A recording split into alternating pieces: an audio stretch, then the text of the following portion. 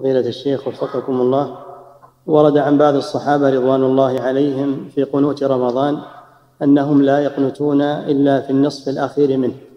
فهل يعتبر هذا من السنن المهجورة في زمننا هذا فيشرع للإمام؟ لا هذا يدل على أنه يجوز أنه ما يداوم على القنوت في كل ليالي رمضان. هذا جواز وإذا داوم عليه فلا بأس. نعم. إعداد مشروع كبار العلماء بالكويت أعزها الله بالتوحيد والسنة.